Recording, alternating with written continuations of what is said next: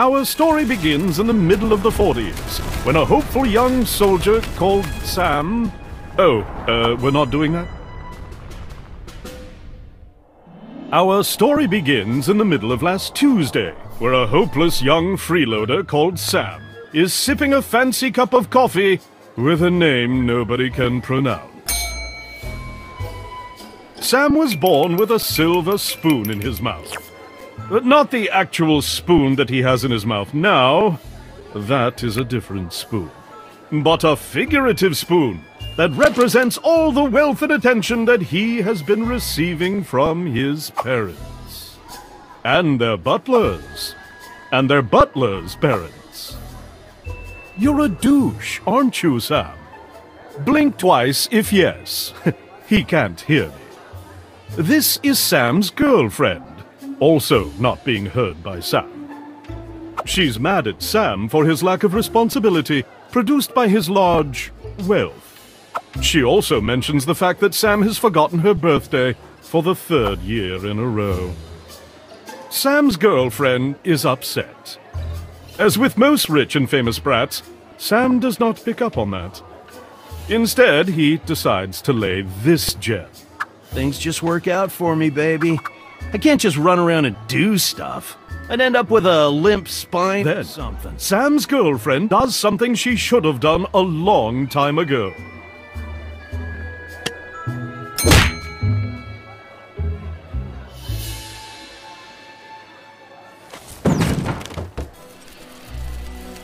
Sam is laying unconscious on the floor.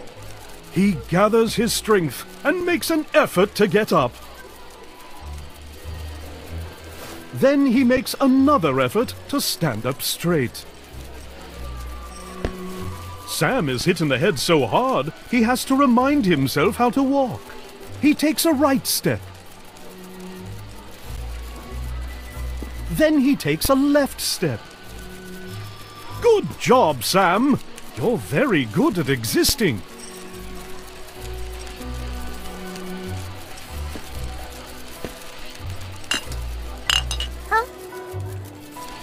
How dare you startle my child? An overprotective mother hurls a cup of coffee in Sam's face. He has to blink rapidly to regain his vision. Say something, Harold. Oh, gee. How is our son going to become a respected politician if he can't fend for himself? I thought he was gonna become an actor. Oh, what's the difference?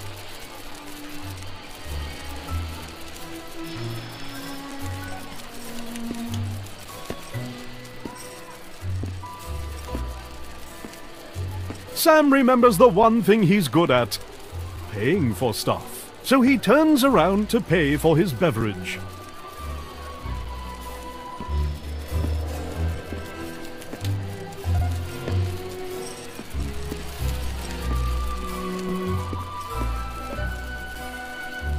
Sam pays the guy 500 euros, barely covering the coffee. Thanks for the tip, douchebag. Sam decides to hurl another 500 at the guy. Not such a douchebag after all. Sam is hurling stacks of 500s left and right. He has no perception of money. Sam is about to spend his whole weekly allowance on tipping a barista named Tony. He really was hit hard in the head. Holy feces! I'll just start my own coffee shop! Once again, Sam makes someone quit their job by tipping them too much. So long, suckers!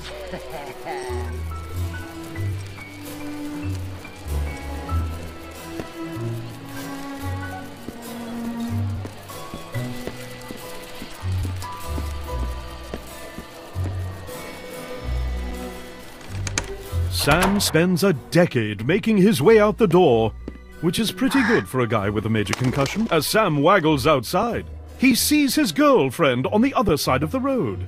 Sam pulls himself together and rushes towards his soon to be ex girlfriend. This is when a septic tank truck approaches Sam with an average speed of 90 kilometers per hour. The impact renders him eight types of dead.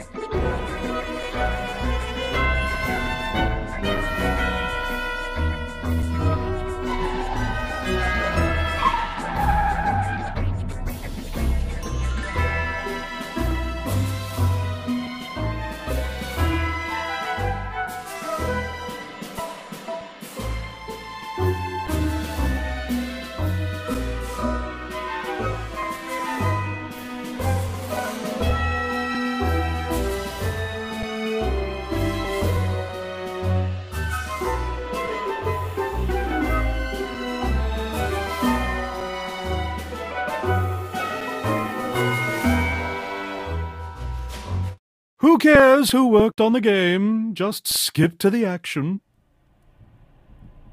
Who knew a bottle to the face would result in such a terrible fate for Sam?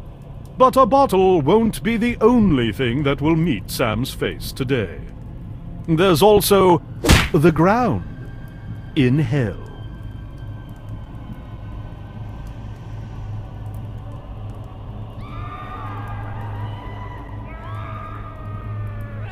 Sam does not like being dead a single bit. He also hates the eerie feeling of not having any cash on him. Then, he finds seven glowing notes in his pocket. That makes him feel reasonably better.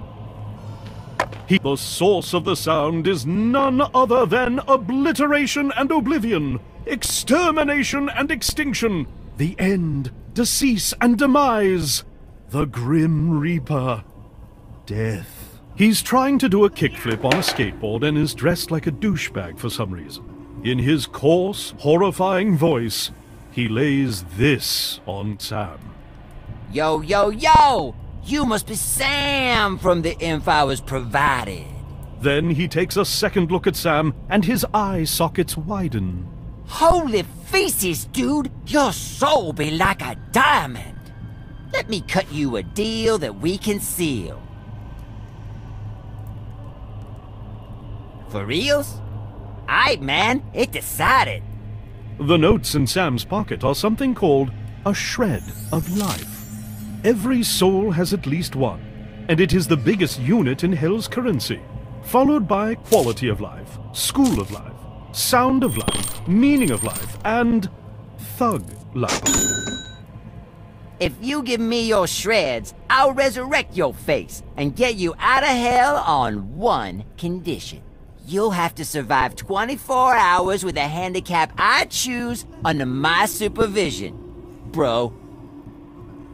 Sam decides to check out the rest of Hell before doing any deals with supernatural beings. Sam decides to check out the rest of Hell before doing any deals with supernatural beings. Why, hello there, dear sir. Sam has seen enough. He goes back to death and his deal. Why, hello there, dear sir. Let's see if we can find a job for you. You get to be, ooh, a minesweeper. That'll be all your shreds, dear sir. Could be worse. Whatever. Kinda sounds fun. Why, hello there, dear sir. Let's see if we can find a job for you. You get to be a struggling freelance artist. Oh my. That'll be all your shreds, dear sir. No! This is truly hell! Looks like it's time for lunch, dear sirs and madams. Uh, take all your concern-related concerns up with upper management. See you in five hours. Sam has seen enough. He goes back to death and his deal.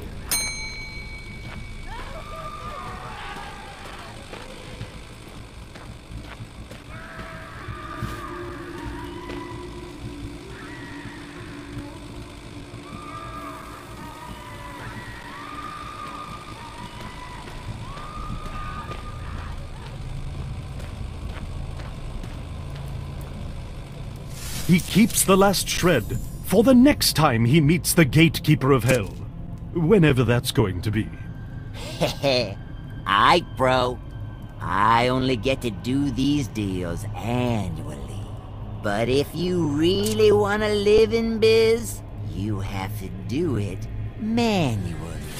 Also, I will stop speaking in rhymes now.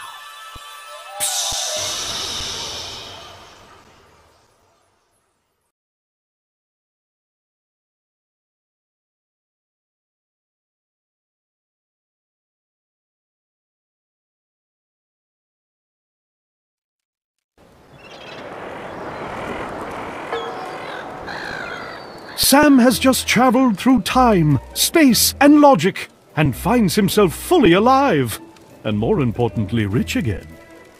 His joy is only dimmed by the fact that he can't move at all. This is when he shows up. Death. Yo, yo, yo! Oh, yeah, you look horrible. I mean, you look great, bro. Uh, You be okay? Can you hear me? Um, blink twice if yes. Oh, cool. You be alive. Everything be fine.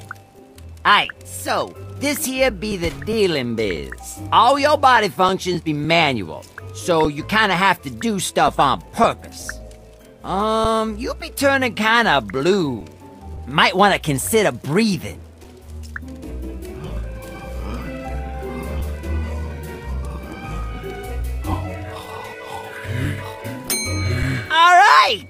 Bitchin'! You be blinking and breathing, that be bitchin'! So, alright. Go survive for a day, and I'll let you live normally for the rest of your life. If you somehow die within the next 24 hours, you'll go to hell and I'll keep your shreds forever. I'll be over there doing kick flips if you need me. Once again, Sam has to make an effort to get up. This time, he has to focus on his spine. And once again, he has to remind himself how to walk. Oh, by the way, dude, you be getting late for work. Sam does something that resembles walking toward the bathroom. Gonna do a kickflip now. Ah! Friggin' skateboard. Sam's vision is blurrier than a Norwegian teenager at a wedding. He decides to blink. Sam holds on to that toothbrush like his life depends on it. Then he lets go. How? Sam is dumb enough to breathe in with his mouth full of water. He has to cough.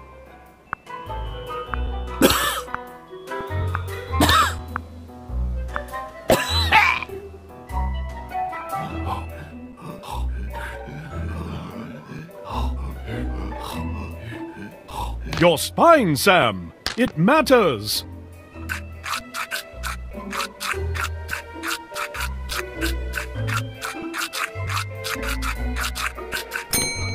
With clean teeth, Sam is ready to smile. He won't for at least 24 hours, though. blink, Sam! Blink! Sam passes out from the lack of oxygen. It's going to be a long day.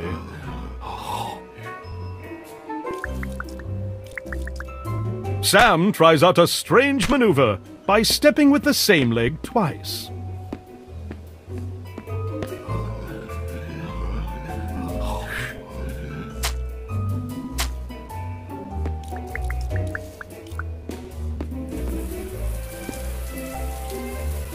Sam tries to take a shower. He looks like a mantis that's trying to explain to someone how a bicycle works.